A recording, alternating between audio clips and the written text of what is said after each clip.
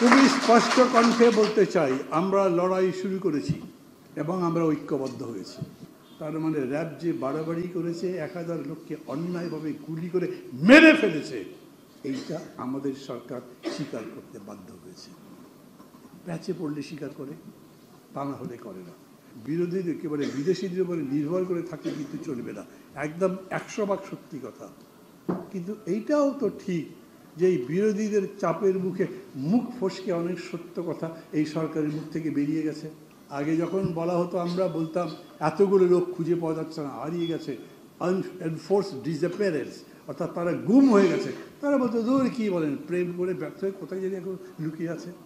কেউ কেউ টাকা শোধ দিতে পারে না, তাই পালিয়ে গেছে।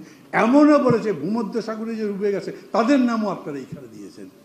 এখন লু যখন এসে বলল, না এক বছর মোটামুটি ভালোই গেছে। আগের মতো টুলি করে মানুষ মারো নাই। এই জন্যে তোমাদেরকে আমরা স্যাংশন ফার্দার দেই দেই। তখন বলেছে, ভাই, কি করবেন?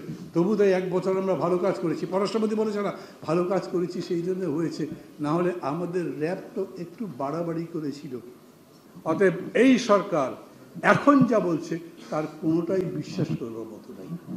এক কথাই বলি, এদেরকে বিশ্বাস করি না। কোনো কারণে বিশ্বাস করি না। কারণ একটার পর একটা বিশ্বাসের খেয়ানত করেছেন তারা। একটার পর একটা বিশ্বাস ভঙ্গ করেছেন।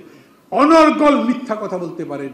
মিথ্যাতে বলার যদি কোনো কম্পিটিশন হতো বাংলাদেশ চ্যাম্পিয়ন হতো। হতোই।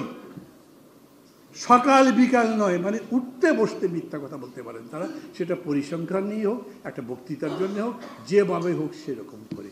বলেন এই যে গৌর নদীতে দোকানের চাঁদা বা দোকানের ভাড়া তারা তুলবে এটা দেখছে না? পুলিশ কি করে?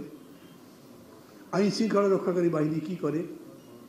তারপরে এই যে চট্টগ্রাম মেডিকেল কলেজের যে ঘটনা উনি বললেন সোহরাব হাসান সাহেব বললেন, এটা পত্রিকায় কতদিন ধরে লেখা হচ্ছে না? কোনো ব্যবস্থা করেছে সরকার? একটা অন্যায় যেটা আওয়ামী লীগের লোক করছে, সেগুলো পত্রিকায় লেখা হলে তার বিরুদ্ধে কোনো ব্যবস্থা হচ্ছে? হচ্ছে না।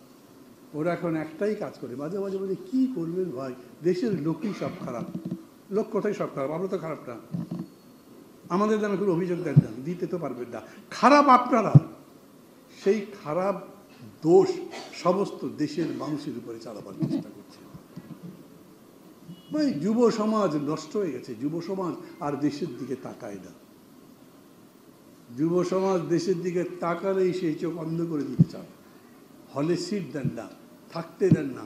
এবং বিশ্ববিদ্যালয় সহ সমস্ত শিক্ষা প্রতিষ্ঠানের উপরে কি নির্যাতন চলছে, গত কয়েকদিনের ঘটনার মধ্যে দেখলেন।